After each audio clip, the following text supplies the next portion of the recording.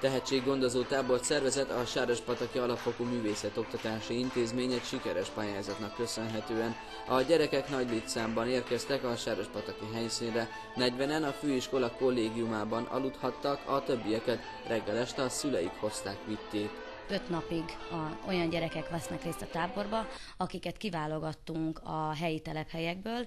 9-10 telephelyről érkeztek, csak név szerint néhányat érkeztek Adácsról, Bodrogolasziból, Kenizlőről, Tiszakarádról, és még említhetném a többi telephelyet. Összesen 10 telephelyről jöttek a gyerekek.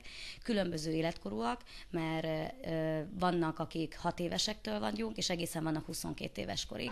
A tehetséggondozó tábor célja a képességek fejlesztése. A tánctudástól az előadói módon át a tartás javításig mindennel foglalkoztak négy csoportban.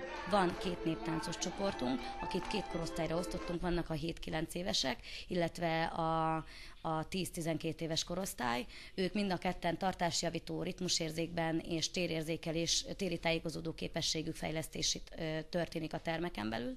Aztán vannak társas táncosok, akik latin-amerikai táncokat és standard táncokat tanulnak ismét, és a negyedik csoportunk pedig modern táncos csoport, ez is ebben a csoporton belül kettő korosztály van. Vannak a pici óvodások, akik, illetve 6-8 éves gyermekek, akik az éven jöttek először táborban, náluk klasszikus balettoktatás folyik, és a modern táncosok pedig ott vannak hárman, a tehetség gondozásról, annak eredményességéről azonnal visszaigazolást kaptak a szülők, a gyerekek ugyanis egy rövid műsort adnak elő pénteken eljön a bemutatkozás ideje a szülők előtt, akkor egy olyan magas szintű produkcióval tudunk bemutatkozni, amikor a szülő is azt mondja, hogy igen, megérte, hogy ez a gyermek itt vegyen részt ezen a táboron.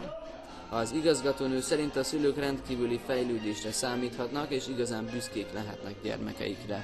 Nagyon jól fogja mutatni azt, amit a, a tábor elején készítettünk egy videó felvételt a hétfői napon, ahogy bejöttek ezek a gyerekek, ugye nem ismerve egymást, nem tudtuk egymás tudását, tényleg nem ismerték egymást, és elkezdtünk velük foglalkozni, és ugye elég intenzíven, mert minden egyes nap délelőtt délután másfél-másfél órákat dolgoztunk, és ez azért sok, mert hogyha csak rendes iskolai körülmények között találkoznak, akkor egy héten csak egyszer vagy kétszer találkoznak így, és nem ennyire intenzíven, mint itt. A Sárospataki Alapfokú Művészetoktatási Intézmény tehetséggondozó táborában résztvevő 90 gyerek az egyhetes intenzív munkának köszönhetően jó szintre emelhette tudását.